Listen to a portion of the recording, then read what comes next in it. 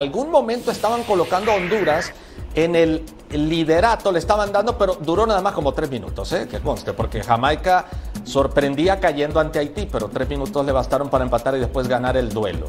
Así que en este grupo Jamaica y Honduras clasifican, descienden Haití y Granada. Correcto. Así es, bajan a la Liga B. Y Cuba, podemos calificar esta ronda como exitosa a pesar que no clasificó no es una potencia futbolística y alcanzó a sostenerse en la Liga A, que ya es un mérito a reconocerle al, al fútbol cubano. De cuatro partidos, solo perdió en uno. Solo perdió Sí, uno. correcto. En efecto, solo perdió uno.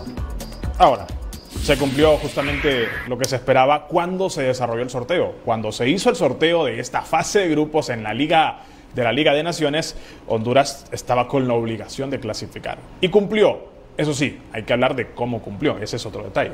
Bueno, son eh, dos, do- son dos historias diferentes, porque el mismo Reinaldo Rueda decía, la idea era terminar en primer lugar. No se pudo, pero vamos a coincidir, mínimo, hey, había que clasificar. Y para seguir platicando sobre Honduras y este grupo que cerró ya actividades, tenemos comunicación con Faisal Rishmawi. Faisal, ¿cómo estás? Buenos días, bienvenido. Mauricio, ¿qué tal, Nepto? Un placer. Aquí estamos, un poquito más felices que ayer.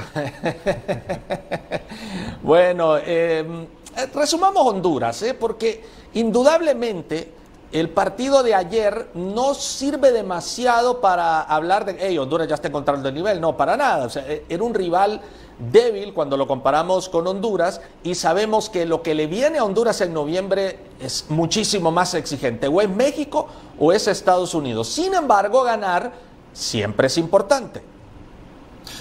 A ver, el, el tema es que había una obligación de ganar los dos partidos. Y Honduras se llenó de dudas empatando contra Cuba de visitante. Y las dudas te generan desconfianza y la desconfianza puede desembocar en problemas peores.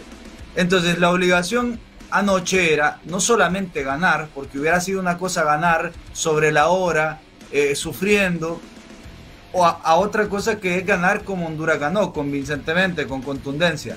Esto no quiere decir que vamos a salir a hacer caravana aquí en San Pedro Sula, a la Fuente Luminosa.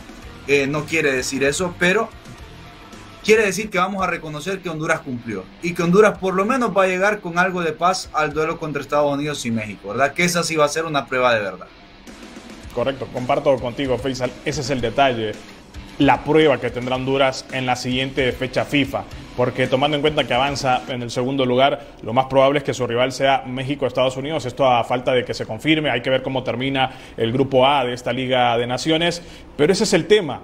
Honduras contra estos rivales que en la previa Honduras no va a partir, obviamente, como favorita, tomando en cuenta lo que representa Estados Unidos y lo que representa México, pero no solo eso, porque eso siempre será así, por lo que representan estas dos selecciones. El tema es esas dos dudas que dejó Honduras, principalmente en el partido contra Jamaica y en el partido contra Cuba en República Dominicana. Entonces, más allá de que se gana como local, tenemos que aceptar, y lo mencionaba recientemente Faisal, que el grupo estaba modo para Honduras. O sea, Honduras estaba obligado a superar. Cumplió, listo, pero hay que ver cómo cumplió. Y en el transcurso de esos cuatro partidos hay momentos muy positivos, hay que ver contra los rivales también, pero momentos donde está la duda que, que no desaparece, más allá de que pasan y pasan los partidos. Mira, la, la única prueba, considero yo, el único termómetro válido futbolísticamente hablando que Honduras tuvo en este grupo fue Jamaica en Jamaica. Y te voy a ser sincero, a mí me parece que Honduras no salió tan mal librado de ese partido. Yo sé que perdimos, pero fue un partido que estuvo para cualquiera de los dos y que en algún momento de ese juego Honduras lo pudo haber ganado, si hubiera sido un poquito más puntual en ciertas ocasiones. Eh, la idea era ser primeros, eso sí está claro. Y la oportunidad de ser primeros Honduras la dejó pasar en ese partido contra Jamaica. Reitero que en algún momento lo pudo haber ganado ese partido. La idea era ser primeros y tratar de evitar a uno de los dos grandotes. Pero bueno, ahora ni modo, es lo que es. Tenemos que entender en Honduras también que no estamos en un momento de histórico de pedir muchísimas cosas.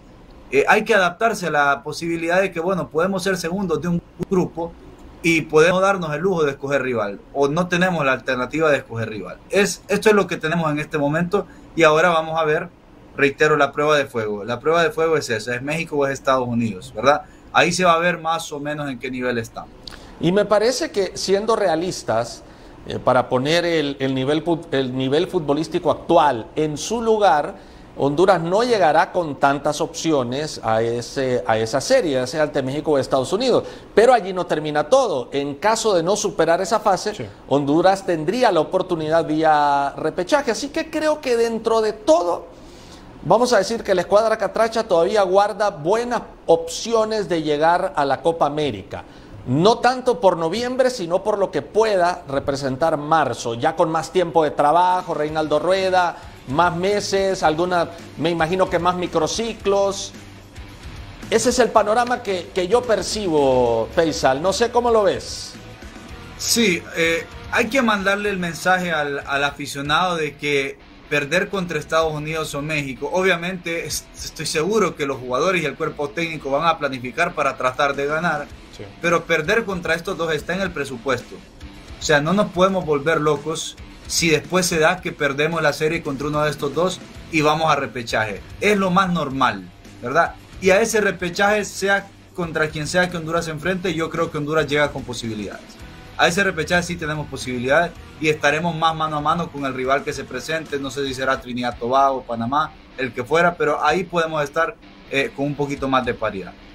A ver, eh, es que es cierto, lo más probable es que te elimine Estados Unidos o México. El tema es cómo también. Eh, el asunto. Ah, ese buen punto. son dos partidos, ida y vuelta. ¿Qué, qué pasa si viene México, viene Estados Unidos y te pinta la cara como local y luego en la vuelta te vuelve a pintar la cara? También es un tema que hay que poner en la mesa. Ese, buen punto, Faisal. E, e, ese, esa perspectiva no, la, no la había considerado, ¿eh?